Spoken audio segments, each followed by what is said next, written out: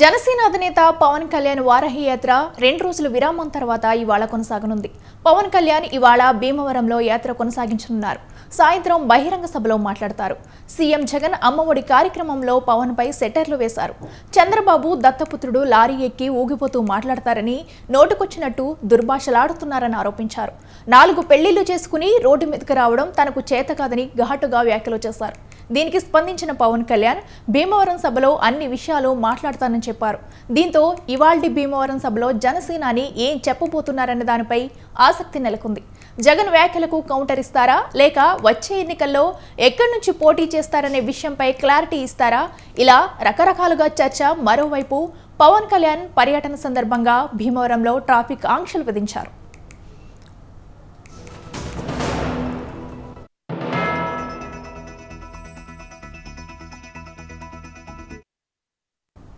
పవన్ పర్యటనకు సంబంధించి మరింత సమాచారం మా ప్రతినిధి చైతన్య అందిస్తారు.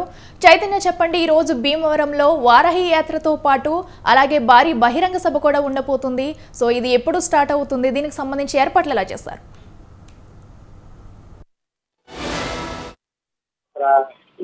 విరామం తర్వాత ఈ రోజున మధ్యాహ్నం వారాహి యాత్ర మొదలవబోతుంది. అయితే సాయంత్రం ఐదు గంటలకి అంబేద్కర్ సెంటర్ భీమవరం అంబేద్కర్ సెంటర్లో భారీ బహిరంగ సభను ఏర్పాటు చేశారు. ఈ ఏదైతే నిర్మలా కన్వెన్షన్లో ఆయన స్టే చేశారో అక్కడి నుంచి కూడా యాత్రగా స్టార్ట్ అయ్యి అంబేద్కర్ సెంటర్కి మధ్యాహ్నం ఐదు గంటల సమయంలో ప్రారంభమై అక్కడి నుంచి ఐదున్నరకి అంబేద్కర్ సెంటర్ వచ్చి ఇక్కడ వారాహి ఈ ఆ వెహికల్ మీద నుంచి కూడా భారీ బహిరంగ సభ మాట్లాడనున్నారు. అయితే ఈ ఈ నేపథ్యంలోనే ఆ ఈ భీమవరం పట్టణం అంతా కూడా ట్రాఫిక్ ఆంక్షలను విధించారు పోలీసులు. ఎవరైతే ఈ ఉండి ఉండి మధ్య నుంచి వేలూరు వైపు నుంచి కానీ గుడివాడ నరసాపురం పాలకొల్లు వైపు తాడేపల్లిగూడి వైపు వస్తున్నారు. వీళ్ళందరికీ కూడా రోడ్డు డైవర్షన్ మార్గాలను ఇచ్చారు. అలాగే కూడా భీమవరం పట్టణం అంతా కూడా వారాహి ఫ్లెక్సీలతో పవన్ కళ్యాణ్ ఫ్లెక్సీలతో నిండిపోయింది అలాగే యువత యువకులు ఎవరైతే ఉన్నారో ఆల్రెడీ డిఎస్పీ గారు నిన్న వాళ్ళందరూ కూడా వార్న్ చేసిన పరిస్థితి కనపడుతుంది. అందరూ కూడా ఎవరైతే యువకులు ఉన్నారో వారందరూ వాళ్ళని సైలెన్సర్ తీసేసి పెద్ద పెద్ద భారీ సౌండ్లు చేసుకుంటూ ఆ రోడ్ల మీద ర్యాలీలుగా వెళ్ళకూడదని కూడా ఆల్రెడీ ఇప్పటికే నిబంధనలు అయితే ఈ మన భీమవరం డిఎస్పీ గారు చెప్పిన పరిస్థితి కనపడుతుంది. అయితే ఈ రోజున భారీ బహిరంగ సభలో పవన్ కళ్యాణ్ ఏమైతే మాట్లాడతారో అవన్నీ కూడా రాజకీయంగా తీవ్ర ఉత్కంఠంగా మారింది. ఎందుకంటే నిన్న అమ్మఒడి కార్యక్రమం మన్య జిల్లా నుంచి మాట్లాడిన సందర్భంలో ఆయన లారీ మీద నుంచి ఇలా ఇలా ఊగుతూ మాట్లాడుతూ ఉంటారని కూడా ఆయన కూడా అన్నారు. దానికి ఘాటుగా పవన్ కళ్యాణ్ కూడా స్పందించిన పరిస్థితి కనపడుతుంది. అలాగే స్థానిక ఎమ్మెల్యే గ్రంథి శ్రీనివాస్ కూడా ఇక్కడ ఎవరైతే అతను స్టార్ కాబట్టి రాజకీయంగా అతను అతను ఏమి చేయలేడు. అతను స్టార్ హీరో కాబట్టి అతను చూసేందుకు జనం వస్తున్నారు. అలాగే జనానికి ఏదో మాయ మాటలు చెప్పి కప్పుపుచ్చుతున్నాడు ఆ- అన్న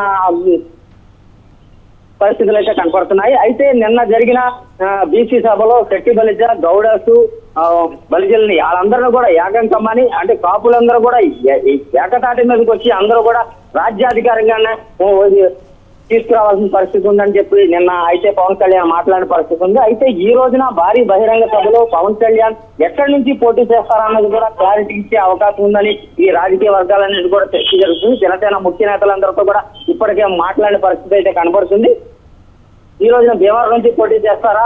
ఆ, బందరు అంటే ఇప్పటికే మల్కీపురం భారీ బహిరంగ సభలో అనౌన్స్ చేశారు. బందరు నుంచి కానీ భీమవరం కానీ భీముల నుంచి కానీ పోటీ చేస్తారని చెప్పారు. అయితే నిన్న నరసాపురంలో భారీ బహిరంగ సభలో అయితే ఎక్కడైతే నేను అధికారాన్ని ఆ, పోగొట్టుకున్నానో అక్కడి నుంచే మళ్ళీ చేజిక్కించుకుంటాను అనేసి అన్న పరిస్థితి కూడా కనపడుతుంది. భీమవరంలో మళ్ళీ నేను జగన్ జెండా ఎగరవేస్తానని పవన్ అన్న పరిస్థితి కూడా కనపడుతుంది మొత్తం మీద చూసుకుంటే ఈ రోజు సాయంత్రం భీమవరంలో జరగనున్న భారీ బహిరంగ సభకి పవన్ కళ్యాణ్ ఏదైతే స్పీచ్ ఉందో అదంతా కూడా తీవ్ర ఉత్కంఠంగా మారింది యాత్ర రైట్ చైతన్య థ్యాంక్ యూ